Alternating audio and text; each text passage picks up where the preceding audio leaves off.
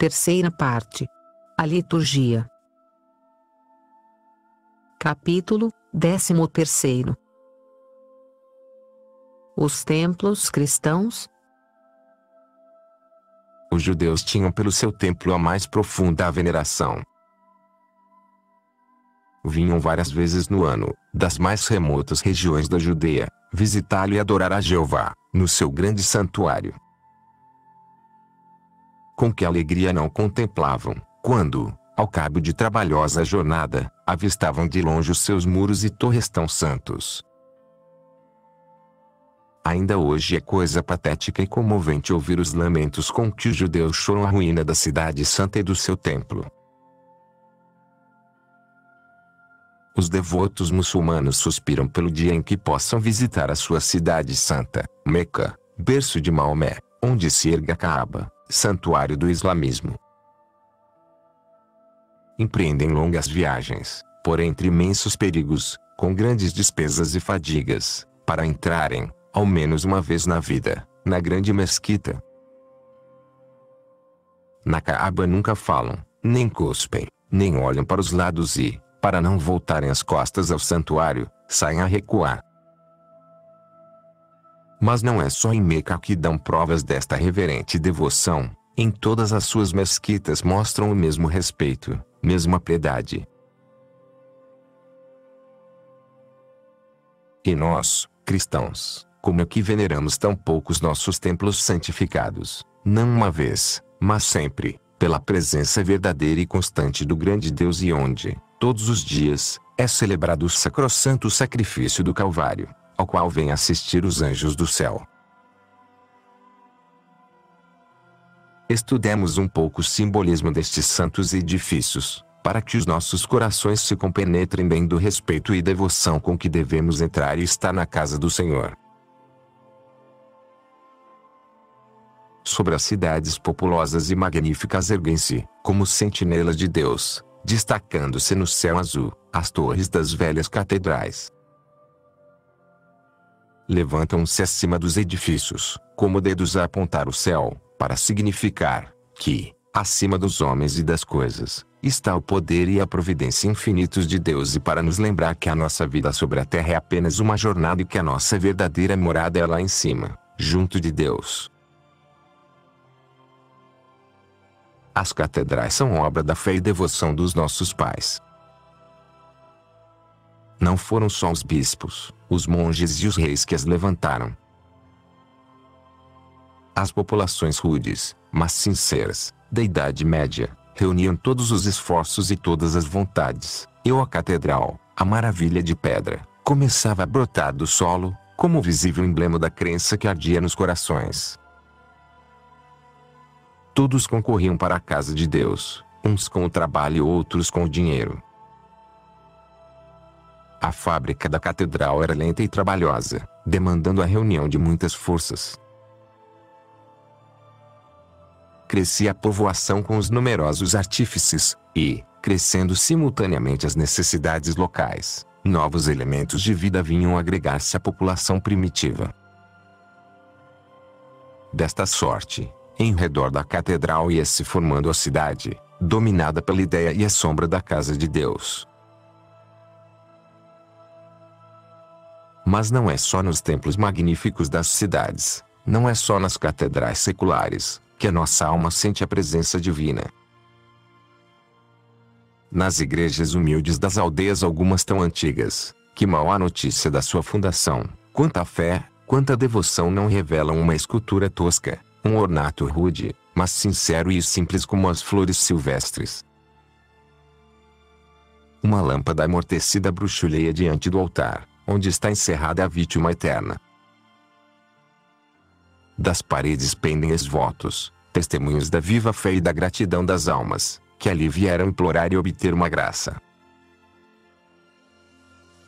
As gerações da aldeia sucederam-se, tendo como consolação e amparo a velha igreja rústica, onde o sacrifício incruento é celebrado pelos que morreram, pelos que andam nas guerras, pelos que, longe dos seus, moerejam em climas remotos e inóspitos, pelos que vão sobre as águas do mar, para implorar de Deus as chuvas que tanta falta fazem, para salvar as reses que perecem, ou em ação de graças pelos benefícios de um ano próspero. Assim, pois, quer nas cidades, quer nas aldeias, ou seja uma catedral de magníficas proporções ou um templo rude, de musgoso granito, a igreja, na qual se oferece o incruento sacrifício foram sempre para os cristãos lugar de veneração, e emblema sagrado. Censuram alguns que os católicos consumam tantos esforços, despendam tamanhas quantias na construção de igrejas, e dizem: Podia aplicar-se esse dinheiro a tantas obras úteis e necessárias.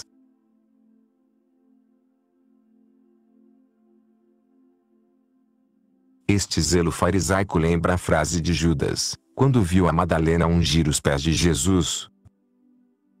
Para que é este desperdício? Não poderia dar-se aos pobres o dinheiro destes perfumes. Antes de mais nada observaremos, de passagem, que as igrejas são úteis e até necessárias. O homem e a sociedade não são só o corpo, são acima de tudo, a alma. Se para o corpo procuramos tantos confortos, se são necessárias as nossas habitações, se são indispensáveis os hotéis, os estabelecimentos de diversão, não havemos de conceder à nossa alma um lugar onde repouse numa atmosfera de sossego e paz, onde possa livremente remontar-se até a fonte eterna da vida, aurindo forças e consolações para sua viagem sobre a terra. Mas há mais, se em todos os países se elevam estátuas a militares, a heróis, a sábios, a escritores, a políticos, a homens, muitos dos quais, pouco ou nada fizeram pela sua pátria, não será justo que elevemos monumentos ao Deus onipotente, Senhor dos homens e das coisas, de quem temos tudo quanto somos e possuímos. Todas as religiões pagãs ergueram edifícios e padrões em honra dos seus falsos deuses. Os gregos e os romanos levantaram templos magníficos, cujas ruínas ainda hoje nos maravilham. Os maometanos têm as suas mesquitas a que consagram a maior veneração. Nas vastas regiões do Oriente Asiático avultam esses pagodes de estranha forma e colossais proporções, esses extraordinários templos hindus, consagrados às falsas divindades. Só o Deus verdadeiro, o Criador Supremo do Universo, não teria um lugar especialmente consagrado ao seu culto, lugar em que lhe fosse oferecido o sacrifício por excelência, o sacrifício da missa. Não nasceram estas ideias, de algum cérebro de devoto ou poeta. O próprio Deus nos inspira. Acaso não conhecemos as ordens minuciosas que deu para o seu templo de Jerusalém? A profusão de ouro, de prata, de vasos preciosos, de materiais raros que nele foram empregados. E as nossas igrejas, em que ele próprio habita, tão verdadeiramente, haviam de ser mais pobres.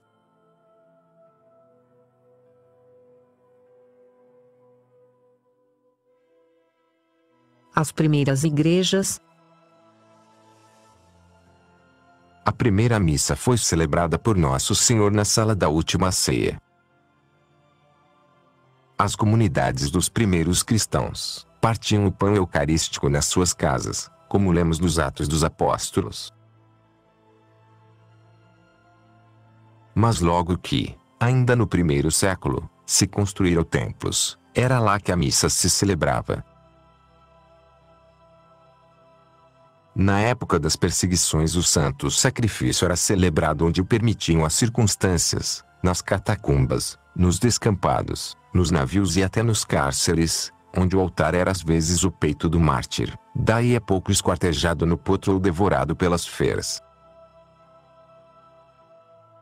Passada a sangrenta tempestade, os cristãos começaram a construir templos ou igrejas, que consagravam para a celebração dos sagrados mistérios. Depois da vitória de Constantino, o Grande, sobre Maxêncio, os cristãos construíram por toda parte igrejas de mais custosa fábrica, dando o próprio imperador o exemplo, levantando, em Roma a igreja de São João de Latrão e uma outra dedicada a São Pedro, em Jerusalém, a pedido de sua mãe Santa Helena, a igreja do Santo Sepulcro. Como Moisés consagrou o tabernáculo e Salomão o templo, os cristãos consagram as suas igrejas. Tendo os cristãos o piedoso costume de abençoar o alimento, as suas casas, tudo o que usam, não haviam de abençoar ou consagrar os templos destinados ao culto divino.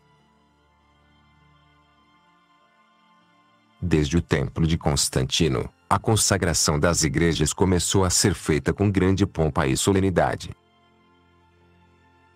O povo reunia-se, com grande regozijo e muitas vezes os bispos congregavam-se num concílio provincial. Por ocasião da consagração da igreja de Antioquia, em 344, reuniu-se um grande número de bispos.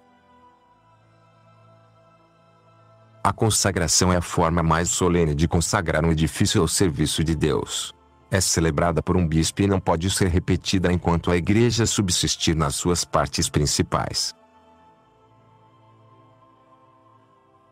As igrejas são dedicadas em primeiro lugar a Deus, posto que sob o título ou invocação em honra ou memória de algum santo, para que os fiéis reunidos nelas estejam sob a especial proteção desse santo e invoquem a sua intercessão. Quando numa igreja é perpetrado algum crime ou impureza, fica considerada como poluta e profanada. Os altares são despojados dos ornamentos e emblemas e as portas fechadas e o santo sacrifício não pode ser celebrado nela, antes que seja de novo benta com água santa, em que se mistura vinho, sal e cinza. A primeira dedicação da igreja, chamada consagração, e a figura do batismo, pelo qual a alma é dedicada a Deus, como templo e morada sua. A rededicação ou benção de uma igreja profanada é a figura do sacramento da penitência, que reconcilia com Deus a alma profanada pelo pecado. A forma das primeiras igrejas era oblonga, e semelhante à configuração de uma barca. A igreja é uma barca, a barca de Pedro, como prescreviam as constituições apostólicas. O altar ocupava, geralmente, a parte oriental. Salvo o caso de excepcionais dificuldades de construção, as igrejas eram antigamente edificadas de forma que o santuário ou altar ficasse sempre ao oriente do edifício. Os antigos cristãos tinham o costume de voltar a face para o oriente, quando oravam, como sinal da sua esperança de ressurreição. Do Oriente surgiu o Sol, que alumia e aquece a terra. A nossa luz, o nosso Sol é Cristo, que veio libertar o mundo das sombras da morte. As igrejas tinham quase sempre um espaço livre, destinado aos penitentes a quem estava interdita a entrada no templo. Nesse espaço havia uma fonte ou cisterna, onde os fiéis lavavam as mãos e a fronte, antes de entrar. A água era benta em certos dias do ano. Crê-se que esta a origem das pias de água benta à entrada das igrejas.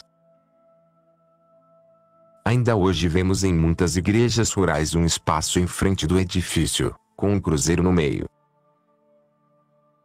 Atualmente as leis eclesiásticas só permitem a celebração da missa numa igreja, num oratório público ou particular, sendo necessário, neste último caso, um indulto apostólico. Todavia em casos muito excepcionais, quando é necessário celebrar, o sacrifício da missa pode ser oferecido em qualquer lugar onde não haja inconveniente sempre com a licença do prelado.